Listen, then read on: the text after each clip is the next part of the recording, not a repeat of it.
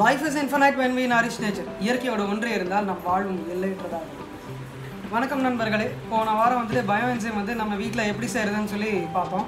இந்த தடவை வந்துட்டு நான் என்ன சொல்ல போகிறேன்னா சில ஏற்கனவே நான் சொல்லாமல் விட்டுட்டு போன சில முக்கிய குறிப்புகள் என்னென்ன பாயிண்ட்ஸ் வந்து நீங்கள் பயன்சைம் செய்யும்போது கடைப்பிடிக்கணும் அப்படிங்கிறத பற்றி தான் இந்த வாரத்தில் நம்ம பார்க்க போகிறோம் சரிங்க. எப்பவுமே வந்து first and foremost bio enzyme வந்து நீங்கள் செய்யும்போது இந்த மாதிரி ஒரு ஸ்டிக்கர் ஒன்று போட்டு வச்சுருங்க. எந்த டேட்டில் வந்துட்டு நீங்கள் அந்த பயோ என்சைம் வந்து ப்ரிப்பேர் பண்ணுறீங்களோ அந்த டேட்டோடைய ஸ்டிக்கர் அதாவது நம்ம சொல்லியிருக்கிற ரேஷியோ இருக்கு இல்லைங்களா? Fifteen is to ten is to three is to one அந்த ரேஷியோ எப்போ கம்ப்ளீட் ஆகுதோ அதுலேருந்து தான் உங்களுடைய பேட்ச் வந்து ஸ்டார்ட் ஆகுதுன்னு கணக்கு. அதாவது எதுக்காக நான் இதை வந்து சொல்கிறேன் அப்படின்னு கேட்டிங்கன்னா இதில் வந்து மூணு விஷயம் இருக்குங்க. இப்போது நம்ம வீட்டில் வந்து எந்த அளவுக்கு வந்து கழிவுகள் வந்து தயாராகுது அப்படிங்கிறது ஒரு விஷயம். அதாவது ஒரே நாளில் வந்து உங்களுக்கு ஒரு ஒரு கிலோ மூணு கிலோ அந்த மாதிரியெல்லாம் கழிவு வந்து தயாராகுது இல்லைங்களா? ஒரு நூறு கிராம் ஐம்பது கிராம் அந்த மாதிரி தான் கழிவு வந்து தயாராகும். இப்போது நான் வந்து உங்களுக்கு இப்போ காட்டியிருக்கிறதுக்கு சின்ன பேட்சில் வந்து காட்டியிருக்கேன். இப்போ நம்மளே வந்து வீட்டில் செய்யும்போது ஒரு டுவெண்ட்டி லிட்டர் ட்ரம்மில் வந்து செய்கிறோம்னு வச்சுக்கோங்களேன். ஸோ அப்போ அதுக்கேற்ற மாதிரி கழிவுகளை வந்து நம்ம தயார்படுத்தணும் இல்லைங்களா? ஸோ அதுக்காக தான் இந்த மாதிரி பேட்ச் டேட்டை வந்து போடுறது. இப்போ நம்ம வீட்டில் வந்துட்டு ஒரு நூறு கிராமு ஐம்பது கிராமுங்கிற மாதிரி தான் காய்கறி வேஸ்ட்டு பழம் வேஸ்ட்டு அப்படிங்கிறது வந்து நமக்கு ஒரு நாளைக்கு வந்து வருது. ஸோ அதை வந்து கொண்டாந்து நீங்கள் அந்த இருபது லிட்டர் ட்ரம்மில் வந்து போட்டு சேகரித்து அதுக்கேற்ற மாதிரி வந்து வெள்ளம் தண்ணி எல்லாம் நம்ம ஊற்றுறோம் fifteen is to ten is to three is to one அப்படிங்கிற ரேஷியோவில் ஸோ அந்த ரேஷியோ வந்து என்னைக்கு உங்களுக்கு மேட்ச் ஆகுதோ அதுதான் உங்களுடைய பேட்ச் டேட் இங்கே நம்ம போட்டிருக்கிற மாதிரி. இப்போ நான் வந்து இங்கே பார்த்தீங்க அப்படின்னு கேட்டிங்கன்னா என்னென்ன போட்டிருக்கேன் அப்படின்னா என்ன ப்ராடக்ட்டு நம்மளோட பயோ என்சைன் என்னென்ன இன்க்ரீடியன்ட் நான் போட்டிருக்கேன் அது போன வீடியோவில் வந்து உங்களுக்கு காட்டியிருந்தேன். லெமன் கேப்சிகம் ஆப்பிள் இந்த மூணு இன்க்ரீடியன்ஸும் நம்ம போட்டிருந்தோம். அதே முறை போல் பார்த்தீங்கன்னா இங்கே சிக்ஸ்டீன் நவம்பர் அன்றைக்கி தான் நம்மளோட பேட்சை வந்து போட்டிருந்தோம். ஸோ அந்த டேட்டை போட்டு ஒரு ஸ்டிக்கரை வந்து போட்டாச்சு. இது வந்து ஃபஸ்ட்டு பாயிண்ட் செகண்ட் பாயிண்ட் வந்து என்னென்னா ஃபஸ்ட்டு தேர்ட்டி டேஸ் வந்துட்டு நமக்கு ஏரோபிக் ஃபெர்மெண்டேஷன் பண்ணணும் அப்படின்றதும். நெக்ஸ்ட்டு சிக்ஸ்டி டேஸில் வந்து ஏனரோபிக் ஃபெர்மெண்டேஷனில் நடக்கும் அப்படின்றது ஸோ ஏரோபிக் ஃபெர்மெண்டேஷன் நடக்கும்போது மூடியை வந்து ஒரு தடவை இப்படி ஓப்பன் பண்ணிட்டு இந்த கேஸை வந்து ரிலீஸ் ஆகணும். அதுக்கப்புறம் நல்ல காற்று வந்து உள்ளே போயிடும். அதை வந்து நம்ம இமீடியட்டாக இதை மாதிரி க்ளோஸ் பண்ணி ஏர் டைட்டாக வச்சுடுறோம். இப்போ பார்த்தீங்கன்னா உங்களுக்கு இன்னொரு விஷயமா காட்டுற பாருங்க. போடுற அன்னைக்கு எப்படி ஃப்ரெஷ்ஷாக இருந்தது இப்போ எப்படி இருக்குது அப்படிங்கிறதையும் ஒரு தடவை நம்ம பார்த்துடலாம். வந்து இதில் பார்த்தீங்க அப்படின்னா தெரியும்னு நினைக்கிறேன். ஓகே இதில் வந்து ஒரு மாதிரி பேட்ச் பேட்சாக ஒரு மாதிரி ஒயிட்டாக உங்களுக்கு தெரியுது பார்த்தீங்களா ஸோ இதுதான் வந்துட்டு அது எப்படி ஃபார்ம் ஆகுறது அப்படின்றது. ஸோ இது என்ன ஆகும் எப்படி தயாராகிடுச்சு அப்படிங்கிறது வந்து உங்களுக்கு தெரியணும்னா ஒரு ஸ்டேஜில் வந்துட்டு உங்களுக்கு கேஸ் ரிலீஸே ஆகாது. ஓகேங்களா? ஸோ அந்த மாதிரி பபுள்ஸ் எல்லாம் வரும். நீங்கள் டெய்லி திறந்து திறந்து மூடும்போது பபுள்ஸ் எல்லாம் வரும். ஸோ அந்த பபுள்ஸை வந்துட்டு நீங்கள் கவனிச்சிங்கனாலே தெரியும். ஒரு நாளைக்கு திறக்கும் போது பபுள்ஸ் இருக்கும். அப்படியே கொஞ்சம் கொஞ்சமாக அந்த தேர்ட்டி டேஸ் வந்து உங்களுக்கு சைக்கிள் வரும்போது பபுள்ஸ் வராது. இப்போ நமக்கு வந்து பார்த்தீங்கன்னா ஆல்ரெடி ஃபிஃப்டீன் டேஸ் மேலே ஆகிடுச்சு பபுள்ஸ் வருது ஆக்சுவலாக குறைஞ்சிருக்கு.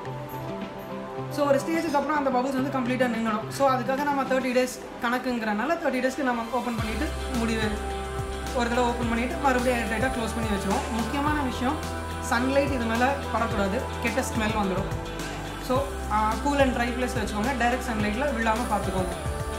ஓகே அதுக்கப்புறம் 90 டேஸ் ஆனதுக்கப்புறம் அதாவது ஃபஸ்ட்டு தேர்ட்டி டேஸ் முடிஞ்சிச்சு இப்போ வந்து நம்ம நெக்ஸ்ட் என்ன பண்ணணும்னா இதை வந்து ஆனிரோபைக் ஃபெர்மெண்டேஷனில் வந்து நம்ம வைக்கணும். ஸோ அனரோபிக் ஃபெர்மெண்டேஷனில் வந்து நீங்கள் வைக்கும் போது இதை வந்து ஏர் டைட்டாக க்ளோஸ் பண்ணி ஒரு இடத்துல வச்சுடுவீங்க. அதை வச்சதுக்கப்புறம் அந்த 90 டேஸ் கழித்து நம்ம பார்க்குறோம். ஸோ அந்த 90 டேஸும் நமக்கு கணக்கு தெரியணும். அந்த ஃபஸ்ட்டு தேர்ட்டி டேஸுங்கிறதும் நமக்கு கணக்கு தெரியும். ஸோ அதுக்கு வந்து நம்ம இங்கே போட்டிருக்கிற டேட்டை வந்து நமக்கு யூஸ்ஃபுல்லாக இருக்கும். ஓகேங்களா ஓகே இப்போ 90 டேஸ் ஆகிடுச்சுன்னு எப்படி தெரியும்? என்ன ஆகும்னா இப்போ இங்கே மிதந்துட்டு இருக்கிற காய்கறிகள்லாம் தொண்ணூறு நாள் ஆகும்போது அப்படியே கீழே இறங்கிடும். இப்போ இதுலேயே பார்த்தீங்கன்னா ஒரு சின்ன செட்டில்மெண்ட் வந்து உங்களுக்கு கீழே தெரியும். தெரியுதுங்களா? ஸோ இந்த மாதிரி வந்து கொஞ்சம் கொஞ்சமாக இறங்கி இறங்கி தான் அந்த பயோவென்சம் வந்து ஃபார்ம் ஆகும். ஸோ 90 டேஸ் கம்ப்ளீஷன் ஆகும்போது மொத்தமாக கீழே இறங்கிடும். ஸோ அந்த கீழே இறங்கி முடிச்சதுல மேலே வந்துட்டு உங்களுக்கு அந்த லிக்விடு கிளியர் லிக்விட் மேலேயும் இந்த செடிமெண்ட்ஸ் எல்லாம் பார்த்தீங்கன்னா கீழே இறங்கியிருக்கும் ஸோ இந்த ரெண்டு ப்ராடக்ட்டையும் நம்ம விதவிதமாக யூஸ் பண்ண முடியும். ஸோ மேலே இருக்கிற நம்ம என்ன பண்ணணும்னா இந்த 90 டேஸ் முடிஞ்சதுக்கப்புறம் இதை எடுத்து ஒரு ஃபில்டரில் போட்டு கிளியர் லிக்விடை தனியாகவும் மதர் கல்ச்சர்னு சொல்லுவோம். அதாவது இந்த எந்த ஒரு பேஸ் ப்ராடக்ட்டை வந்து நம்ம போட்டோமோ அது பேர் வந்து மதர் கல்ச்சர் அந்த மதர் கல்ச்சரை தனியாகவும் எடுத்து வச்சுக்கிறோம். மதர் கல்ச்சரை வந்து நீங்கள் மிக்சியில் போட்டு அரைச்சி எடுத்துட்டீங்க அப்படின்னா அது ஒரு ஹார்ட் பேஸ்ட் மாதிரி உங்களுக்கு வந்துடும் ஸோ அதை அரைக்கும் போது தண்ணி ஊற்றிட வேண்டாம். இந்த கிளியர் லிக்விடே போட்டு போட்டு நம்ம அரைச்சிக்கலாம். ஸோ அது நமக்கு ஃபார்ம் ஆகும்போது நம்ம மறுபடியும் அந்த பாட்டை வந்து காட்டுவோம். சரிங்களா? ஸோ அந்த கிளியர் என்சைம் தனியாகவும் மதர் கல்ச்சர் தனியாகவும் நம்ம எடுத்து வச்சுக்கிறோம். ஸோ இப்போ இந்த கிளியர் லிக்விடை வந்துட்டு நீங்கள் வந்து ஃப்ளோர் வாஷிங்க்கு ஃப்ளோர் க்ளீனிங்க்கு கார் கிளீனிங்க்கு எப்படி வேணாலும் நம்ம யூஸ் பண்ணிக்கலாம். அட் த சேம் டைம் கண்ணாடி துடைச்சிக்கலாம் துணி துவைச்சிக்க யூஸ் பண்ணிக்கலாம். அதே மாதிரி இந்த மதர் கல்ச்சரை வந்துட்டு நம்ம என்ன பண்ணலாம் அப்படின்னா இந்த அரைச்சி வச்சுக்கிறப்ப நம்ம டாய்லெட் பேசிங்கு வாஷ் பேசின் அதெல்லாம் வந்துட்டு நமக்கு க்ளாசெட்ஸை வந்து க்ளீன் பண்ணுறதுக்கு யூஸ் பண்ணிக்கலாம். இதனால ஹார்டான அசிட்டிக் ஆசிடாக இருக்கும். கான்சன்ட்ரேஷன் அதிகமாக இருக்கும். ஸோ அதுக்கேற்ற மாதிரி நம்ம என்ன பண்ணணும் அப்படின்னு கேட்டிங்கன்னா ஒரு ரேஷியோவில் அதை டைல்யூட் வந்து பண்ணணும். இப்போ ஃப்ளோர் கிளீனிங்கெல்லாம் இதை ஹார்டாக யூஸ் பண்ண வேண்டாம். ஒரு இப்போ நம்ம பக்கெட் எடுத்துக்கிட்டிங்கன்னா ஒரு டென் லிட்டர்ஸ் வரும்னு வச்சுக்கோங்களேன். அந்த டென் லிட்டர்ஸ்க்கு ஒரு டென் எம்எல் இல்லை ஹண்ட்ரட் எம்எல் அந்த மாதிரி ஒரு மூடி அளவுக்கு எடுத்து நம்ம ஊற்றி டைல்யூட் பண்ணி அதை வந்து ஃப்ளோர் கிளீனிக்கு யூஸ் பண்ணலாம். இதில் ஒரு ப்ளஸ் பாயிண்ட் என்னென்னா இது பூச்சி விரட்டு நம்ம ஏற்கனவே பார்த்துருக்கோம். இதனால் வந்து உங்களுக்கு ஃப்ளோர் கிளீனிங் பண்ணும்போது வீட்டில் கொசு வராது. ஓகேங்களா? ஓகே செகண்ட் பாயிண்ட் என்ன அப்படின்னா நம்ம வந்து ஒரு விஷயத்த நம்ம பார்த்தோம். என்ன காய்கறி வேணாலும் போடலாம் அப்படின்னு. இப்போ நம்ம யூஸ் பண்ணுறது வந்து இப்போ ஹவுஸ் ஹோல்டு பர்பஸஸ்க்கு நம்ம யூஸ் பண்ணுறோம்னு வச்சுக்கோங்களேன். சில விஷயங்களை வந்து நம்ம தவிர்க்கணும். இப்போ நம்மலாம் பார்த்தீங்கன்னா அப்பார்ட்மெண்ட் வீட்டில் தான் குடியிருக்கிறோம். ஸோ இங்கே அக்கம் பக்கம் நாலு வீடு இருக்குது சில பொருட்கள்லாம் போட்டிங்கன்னா ஸ்மெல் அதிகமாக வரும். ஏன் உதாரணத்துக்கு நம்ம ஒரு சாலடுங்கிற பேரில் வெங்காயத்தை சாப்பிட்டு பக்கத்தில் இருக்கிற ஆளுக்கிட்ட போய் பேசும்போதே ஸ்மெல் அடிக்குது இல்லைங்களா? ஸோ அந்த மாதிரி வெங்காயம் பூண்டு அது மாதிரியான பொருட்களை வந்து அதாவது வாசனை வரக்கூடிய பொருட்களை வந்துட்டு நம்ம இதில் தவிர்த்துக்கிறது நல்லது. அதே மாதிரி நேச்சுரல் கலரிங் ஏஜென்ட்ஸ் வாழைக்காய் பீட்ரூட் அந்த மாதிரி கலர் பிடிக்கிற பொருட்களையும் வந்துட்டு பார்த்தீங்கன்னா இதில் தவிர்க்கிறது நல்லது. என்ன பர்பஸ்ன்னு கேட்டிங்கன்னா இப்போ நம்ம துணி துவைக்கிறதுக்கு இதே லிக்விடை யூஸ் பண்ணுறோம்னு வச்சுக்கோங்களேன். ஸோ அந்த கரை வந்து இந்த துணியில் படிக்கிறதுக்கு வாய்ப்பு இருக்கு இல்லைங்களா? அதனால வெங்காயம் ஸ்மெல் அடிக்கும் வெங்காயம் பூண்டு. ஸோ அதனால் அதை வந்து தவிர்த்துக்கலாம். அதாவது பேசிக்காக என்னென்னா ஸ்மெல் வர்ற பொருட்களும் நேச்சுரலாக கலரிங்க்கு யூஸ் பண்ணுற ஏஜென்ட்ஸும் கரை பிடிக்கும் நம்ம நினைக்கிறோம் இல்லைங்களா? இந்த ரெண்டு விஷயங்களையும் நம்ம தவிர்த்துடணும்.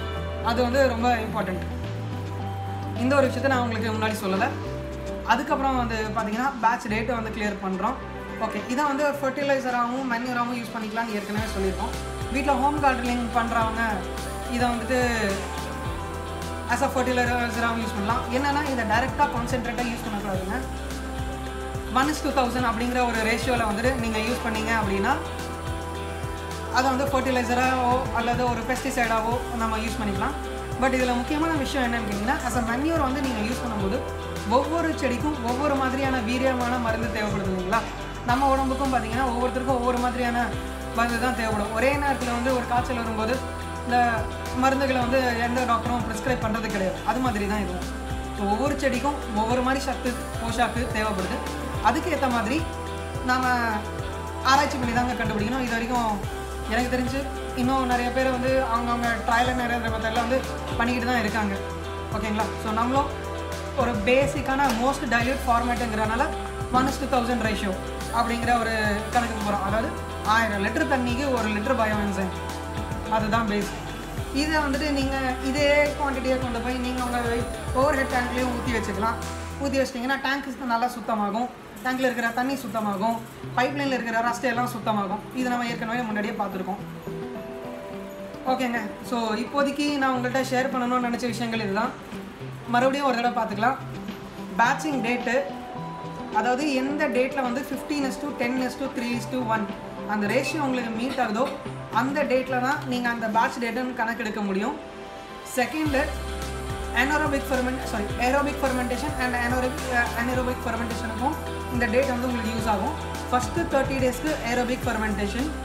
அது வந்து அப்பப்போ நீங்கள் இந்த மூடியை வந்து ஒரு தடவை திறந்து அதுக்கப்புறம் இப்படி க்ளோஸ் பண்ணணும்.